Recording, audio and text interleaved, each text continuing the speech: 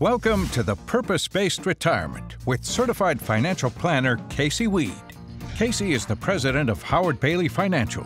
Whatever risk you face during your retirement years, we've got a plan. A published author and radio host. It's not how much we make during the good times, it's how much we keep during those really bad times. His advocacy for retirees and pre retirees has made him a sought after speaker and trusted financial leader. And putting a real plan together. This is the Purpose Based Retirement. Welcome back, investors. Good to see you again. I'm Lee Kelso here with Casey Weade, certified financial planner and the president of Howard Bailey Financial. Hey, all you Stephen Covey fans will like our first segment today. We're going to be taking a look at the seven habits of highly effective investors.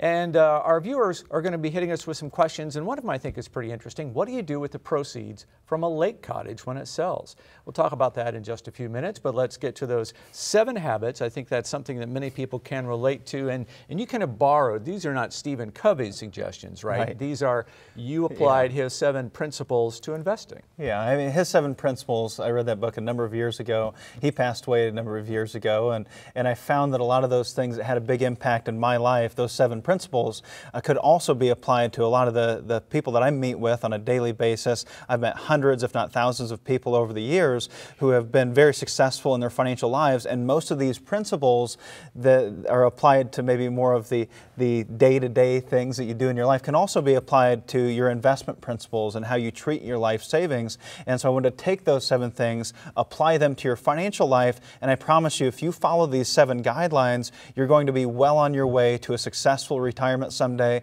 and be able to live throughout your retirement years very comfortably with a peace of mind. Well, let's jump right in with number one, and that is take responsibility yourself for your investments. Yeah, that may be, it might seem kind of obvious, right? Yeah. It's our responsibility, but you wouldn't believe how many folks that I meet with that want to always blame somebody else for giving them this investment vehicle that performed poorly or they didn't like or they're not on the right track. They want to blame the government, they want to blame the econ economy, they want to blame their financial advisor. It's always somebody else's fault. And the buck stops with you. It doesn't stop with anybody else. It's your responsibility to get yourself on the right track and also to make sure you're evaluating and you're in the right right place, that you're taking time to educate yourself and make those decisions for yourself. It's nobody else's money but your own. Let me give you an example. Marshall told me a story of uh, a gal that he met with uh, a while back, and he said when she came in, she spread everything out on the table in front of him and said, look, these are all things that I had, 401ks and IRAs and mutual funds and stock portfolios. And she said, this thing right here, and this is the thing that, that just eats me up. It's the worst thing that I have. And he took a look at it, and as he popped it open, it was a fixed indexed annuity that she bought back in 2009, 2010 time period she said it's just awful.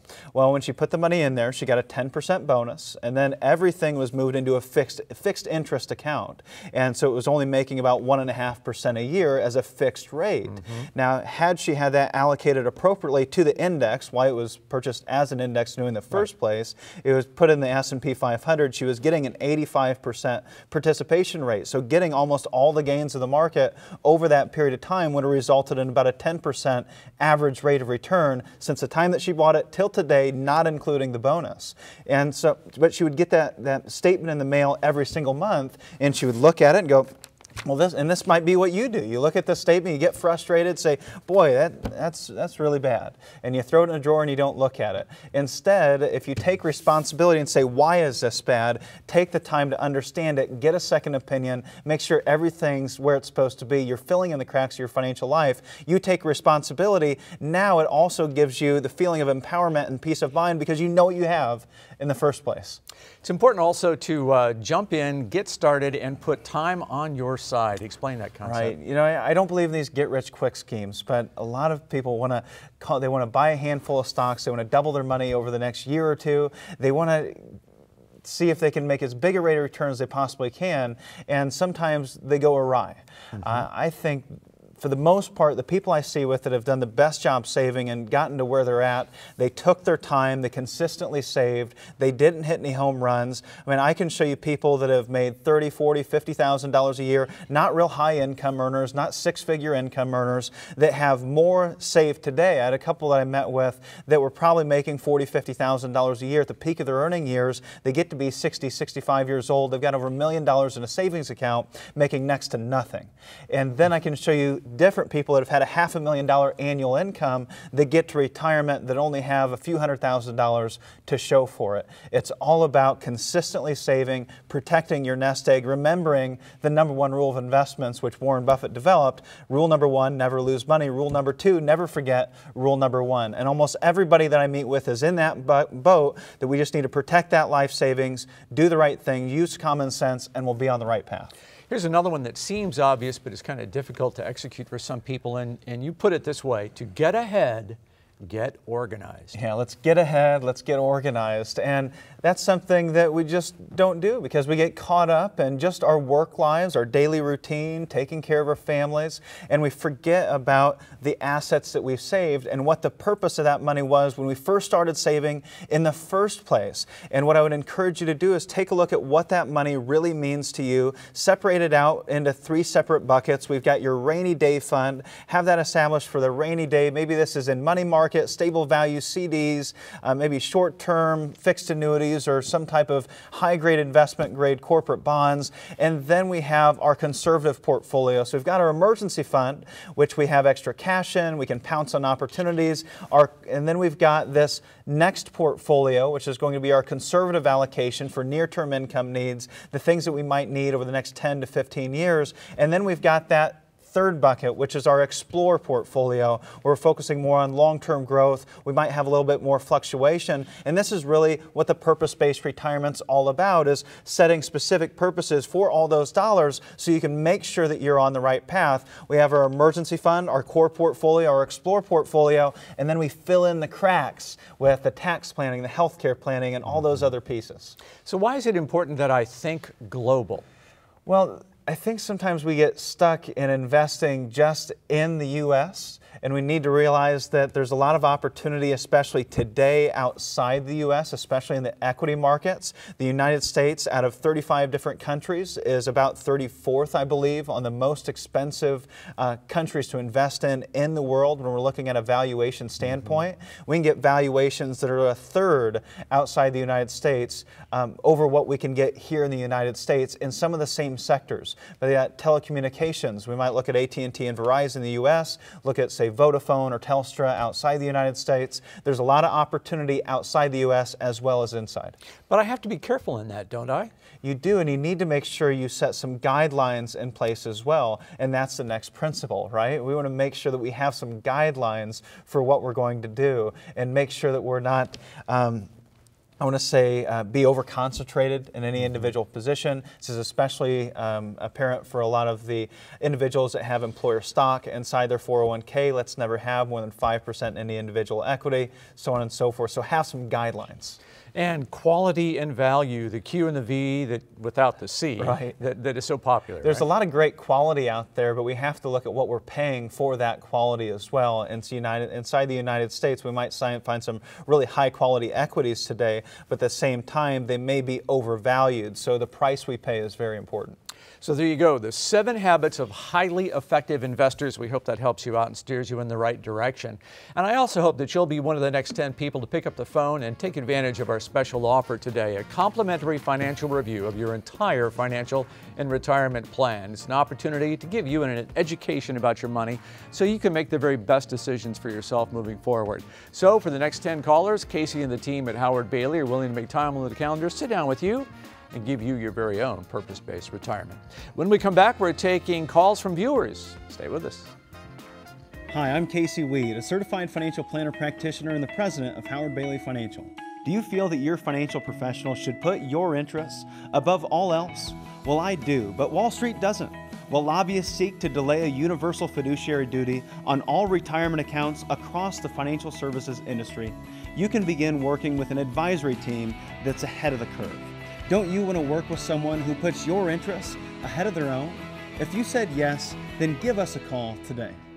You need a plan for retirement to create the lifestyle you've always dreamed of. The first step is to tune into the Purpose Based Retirement Radio Hour with your hosts, Casey Weade and Marshall Johnson, every Saturday morning at 11 and Sunday afternoon at 1 on 1190 WOWO and 1075 FM. Every now and again, we take calls from viewers, questions that come in through the week. We evaluate them and then reach out and ask those people to be part of the show with us. And today, Becky is on the line. Becky, go right ahead with your question. My father would like to begin passing his inheritance on to my sister and I, but I'm concerned that he may not be making the right decision. He owns a lake home uh, that he purchased about 30 years ago on a prominent lake, and he's wanting to sell it for about 400,000 and split the cash between my sister and I. What are your thoughts on that? Well, Becky, thank you for your question. And uh, my thoughts on that that are number one, we want to be careful about selling these assets prior to his passing. And it sounds like this is later in life. Uh, someday he wants to pass these assets on to, to you and, and uh, your sibling and make sure that those things pass on to you in the best way possible. One of the main concerns I have are what kind of taxes are going to be due when that does occur. In Indiana, especially northern Indiana, and, and all over the across the country for that that matter, we've seen huge increases in the values of lake property and, and huge increases in lake property all over the state. So regardless of where that property is, I'm sure there's a great deal of appreciation over the last 30 years. You may have a cost basis that's less than 100,000, maybe as much as 40 or 50,000 dollars in that house. And so if he were to sell that property today, there's going to be capital gains taxes that are due. So he's going to have long-term capital gains taxes that end up being paid. We know that there's going to be about a 15%, maybe as high as 20%. Maybe throw in Medicare surtax, maybe there's up to 23.8% uh, tax altogether on the sale of that property, on the gains. So if you have a $100,000 basis, we've got a $300,000 gain, then that means that we might have $45,000 in taxes due on the low side with just a $300,000 gain if he were to pass away, if he were to sell those properties today. Instead, if he waits and until he passes away then you inherit the property, there's going to be a step up in cost basis. So at that time, that basis that was 100,000 is now stepped up to 400,000 and we can sell that property without paying any major taxes like those long-term capital gains taxes that we talked about. So be careful in what you're doing. Now it also have you weigh, well, what are property values going to do in the future? And this is one of the things we look at with farmland today. Farm prices have went through the roof over the last 15 years and we say, well, why is that? Well, it's a completely different reason that farmland prices have went up versus uh, uh, lake property. Now, yes, there are limited amounts of those properties around, and that's part of the equation, but the big reason is just why the bond market has gotten so expensive today.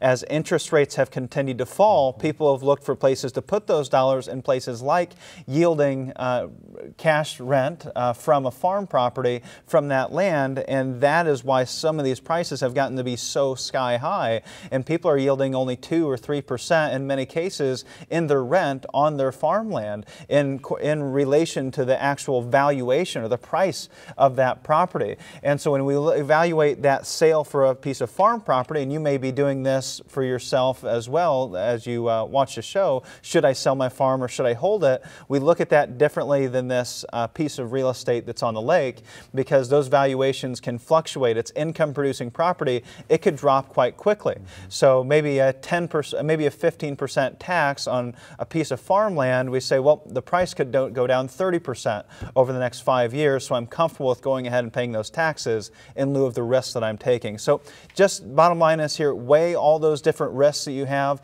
all the potential uh, gains that you could have by waiting or selling it, selling it today, and make the best decision for yourself. I would also encourage you to consult with a CPA, a certified public accountant, for some tax advice. Thank you for your call, Becky. We're going to go roll ahead to Dennis, who retired recently. Dennis, what's on your mind? Uh, yes, thank you for taking my call. I retired about six months ago, and I'm feeling a little bit lost. I've always had a direction in my financial life, and it was it was pretty simple, straightforward: save, save, save, and let it grow. Uh, now I find myself a little lost as to what direction to take. So, what should be my next steps? Well, Dennis, I think a lot of folks can probably relate to that. When you first step into retirement, we're a little lost, right? We're not sure what to do. We used to wake up in the morning and have to be to work at 9 o'clock, and then we'd head home at 5 o'clock. And the goal was just, just work and make as much money as we can and save and put it in our 401ks. And now, Dennis, you stepped into retirement and you're six months in. And this is typically the most stressful period of time. This is that first year to 18 months typically until we kind of settle into retirement. And one of the ways you can work towards settling into retirement, and you should, if you're not yet retired, for any of you out there watching, make sure you're doing this before you get to that point. We're saying, well, what do I really want to accomplish it? Why do I want to retire in the first place? What's the purpose of the money that I've saved today? And what do I hope to accomplish in my personal life over the next 10, 20, or 30 years? We always have to have goals. We always have to have a purpose for our life. You have to sit down here, Dennis, and spend a little bit of time focusing on goal setting. And that may seem weird. You say, well, I don't need to set, set goals anymore now that I'm retired.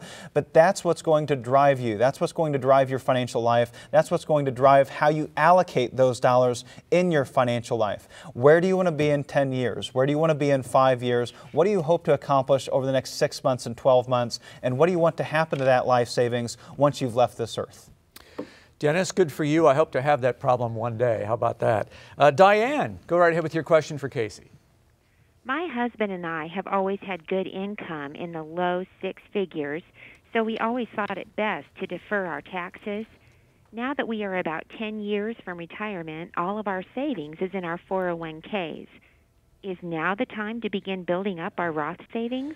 Boy, that's such a difficult question to answer, Diane, because as you said, you're in a higher tax bracket, you're a high income earner, so now you've got all the savings built up in this 401k, and you ask yourself, what should I do? Because when you put that money in your 401k, you defer the taxes into a later date, at which time you hopefully are in a lower tax bracket.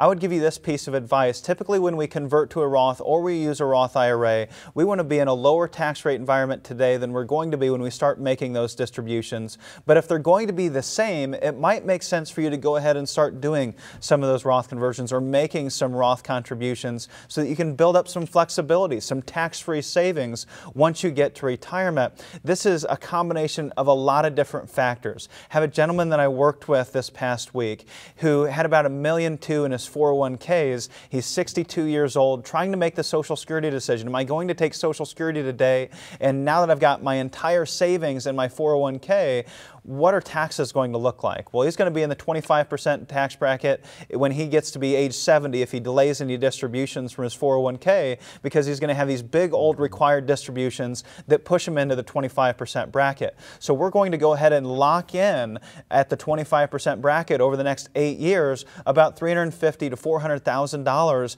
in tax-free savings so that we can dramatically reduce his required distribution and control what taxes he's going to pay. If he wants to go buy a lake property in the future, talked about moving to Florida and getting a house, if we want to go get a couple hundred thousand dollars now, he doesn't have to worry about paying 30% or more in taxes on that 401k distribution because he's already locked in a lower tax rate on a big chunk of it. So not a perfect answer, but uh, yes, you should start diversifying your tax buckets for the most part, but it's going to take a deeper dive into what your goals are and all those other income sources. This is just one piece of the financial puzzle you're trying to put together for yourself and your family.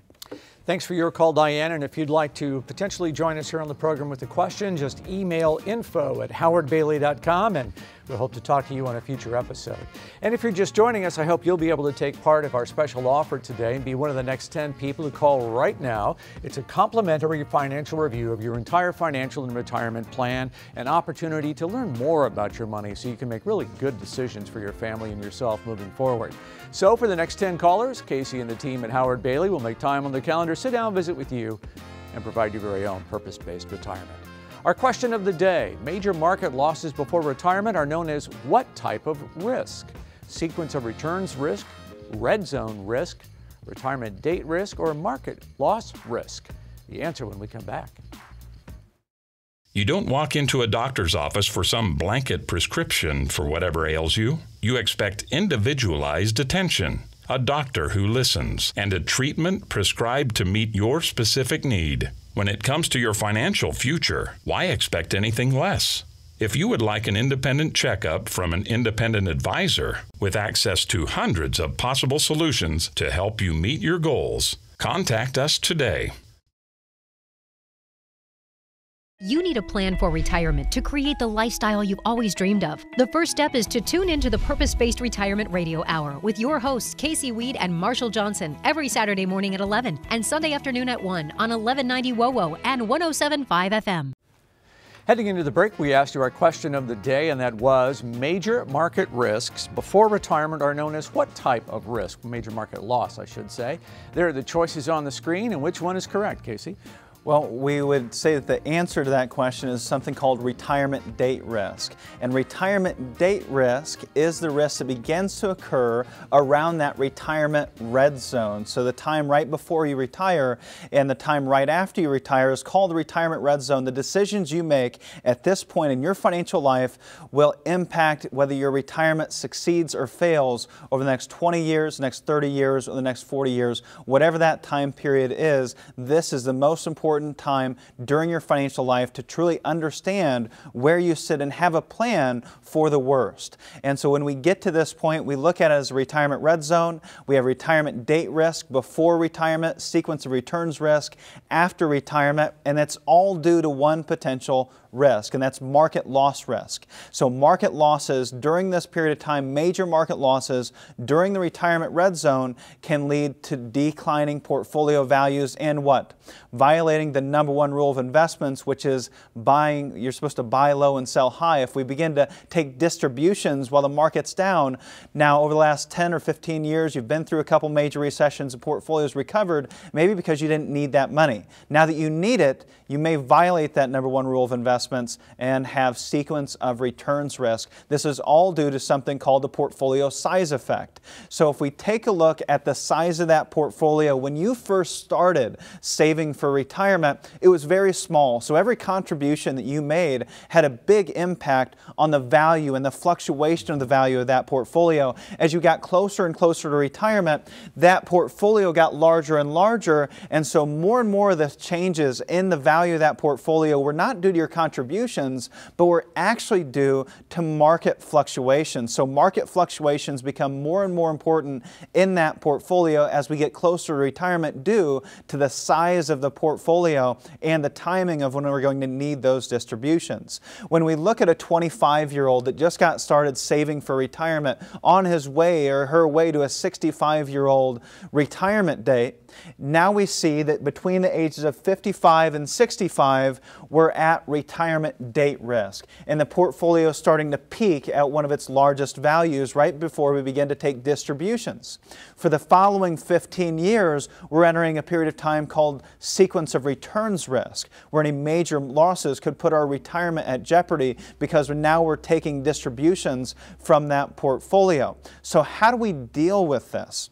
Well, one of the ways that we've dealt with this very generally, if we pop open the CFP textbooks and look inside, we find something called the Rule of 100. And this is something that we use to gauge how much of our portfolio goes to fixed income and how much is allocated to equities. So if we're 60 years old, we have 60% fixed income, 40% equities. We're 65, we're 65% fixed income, 35% equities. So we're adding just an additional percentage of fixed income every year on our way to retirement. And that results in a linear curve. So we're looking at a straight line. There's been some more recent research that suggests that we should have more of a declining or a V-shaped equity glide path. This yellow line here shows us how we should be declining our equity exposure on our way to retirement.